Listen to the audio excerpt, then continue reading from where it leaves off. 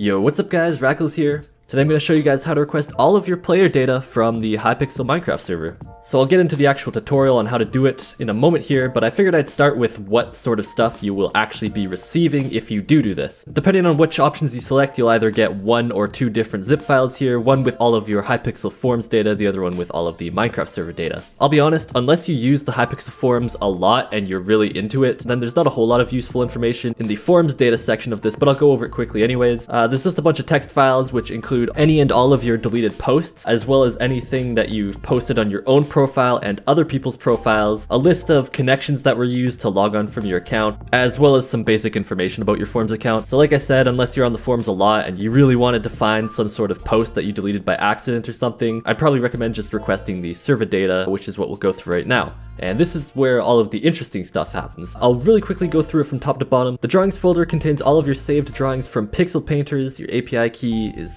self-explanatory. Boosters, this is a list of every personal coins booster that you've used and have not used yet, so that's in your inventory. Crate storage is your current mystery box inventory. Discord is just if you have your Discord linked, it contains your ID. The friends section contains your entire friends list as well as the date that they were added. This one's kind of interesting. It actually distinguishes who sent the request, so there's an entire list for friend requests that you sent that were accepted, and there's also a separate list for requests that were sent to you, which you accepted. Next up is guild messages. This contains every message you've ever sent in guild chat. Any of the message files that we go through, unfortunately they only began saving and tracking these since 2017, so it's not really every message, but it's five years worth of messages. Guild info is just really basic information about the guild you're in. Housing World settings just has your visiting settings, theme, and whatnot. Logins contains a list of every single time that you've logged into Hypixel. Again, like most of these stats, they only began tracking this in 2017, so it's not all time. Mailbox contains every message that you you've sent to other people's mailboxes. Monthly ranks is just a history of every time you've bought or have been purchased MVP++. Network boosters is a history of every network booster that you've used or have in your inventory. Nickname history, again, this one's also kind of interesting. It has every single nickname you've ever used or reused. So basically every time you've ever run the nick command. Party messages, every single party message you've ever sent since 2017. Pixel painters and build battle. This one's a duplicate of the drawings folder, just minus the drawings. Player data contains all of your stats for every single mode mode, which is kind of neat. Playtime contains all of your playtime for the past year. Unfortunately, it is not all time. Private messages, every private message you've sent since 2017, and server messages, every public message that you've sent since 2017. Personally, I had a pretty cool time looking through some of these statistics, so if any of these things sound like something that would interest you, now we'll go into the tutorial section where I'll show you guys how to actually request this off of Hypixel. Basically what you're going to want to do is open up any browser really, and I will leave a, a direct link for this in the description, or you can type it in manually. You're going to want to go to hypixel.net slash data dash requests. Now that you're on this page, you should have something that looks like this. If you don't, it's probably because you either don't have a Forums account or you're not logged into it. So really quickly, make sure you log into your Forums account. If you don't have a Forums account, you can make one right now. It's really easy to do. There should be literally a button like right here to do it. And the last thing that you're going to want to check is that your Forums account is actually linked to your Minecraft profile. Link your Forums account to your Minecraft profile. All you have to do is log into Hypixel and type the slash link account as it says here. Uh, they're going to ask for all of this personal data just to make sure that you are the real person and you're not going to do any bad things with the data that they give you. You will have to fill this out with your actual name, country, address, and so on and so forth because they will ask you for a picture of your ID later on in this process, so you can't fake it.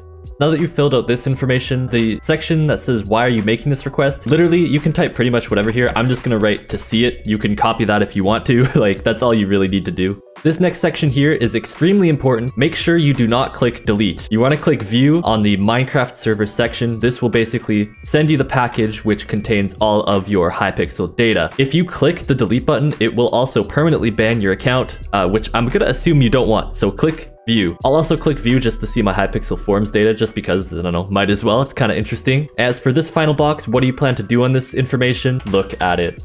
Again, you can really type whatever there. I don't think they care much. Specify that you're the owner of the account and that you did not provide any false information, and then you are good to click submit. After you click submit, it will ask you to just make sure that everything you submitted is correct. If there's something wrong, you can click the button to fix it. If not, then you can send the request. It'll give you this support code that you can use to check on the status of it, or if you have any questions or queries about it, then you can go to support and give them this code. So it did take two days for this next email to come through, but I did get a follow-up from Hypixel support, basically just asking for all of the information a second time, as well as a picture of your government-issued photo identification. And as it says here, they require this information for legal and security purposes. Now, what I did for this was essentially just take a photo of my driver's license with my phone, uh, and then emailed it to myself, then attached it to this email that I'm replying back with. I am not 100% sure which forms of ID and proof of residency they do and do not accept. So if you guys do actually fill out a data request, please let me know what form of identification and proof of residency you attach and whether or not they accepted it. And I'll do my best to compile any replies that I get in the pinned comment that will basically let you know which forms of ID are accepted and which ones got denied. Now, a lot of this is blurred out, but essentially I just replied, hello, this should all be the required information. I replied with what they asked for, everything here. I used the email that my Forums account is linked to here as the primary email, but I don't actually check this email pretty much ever, so I did ask them to send it to my main email if possible. Uh, and then I just mentioned that I attached my driver's license here. So I'll just hit send and they should send me another email confirming and then it may take up to 30 days for the actual package to come through. So the last email update that we got was on the 22nd of December uh, and now it is the 21st of January. So it did take almost an entire month, but at long last the ticket has been updated and they replied with the email with the two links. So like I said, I requested the uh, game server data, which is the first link, and the forums data. If you click on both these links, it should open up a new tab and then immediately start the download. An important thing to note is that the links will expire in seven days, so be sure to download them before then, or else, you know, you'll have to request it again. And that's everything. So although it does take a while for them to get back to you, it is a relatively simple process. I tried looking it up, but I haven't actually been able to find anybody else really showcasing the uh, fact that you can do this, which is why I figured I'd make this tutorial to let you guys know about this cool feature. So if this helped you, or if you found this interesting at all, a like and a sub would be greatly appreciated. Other than that, thank you guys so much for watching. I've been Rackals, and peace.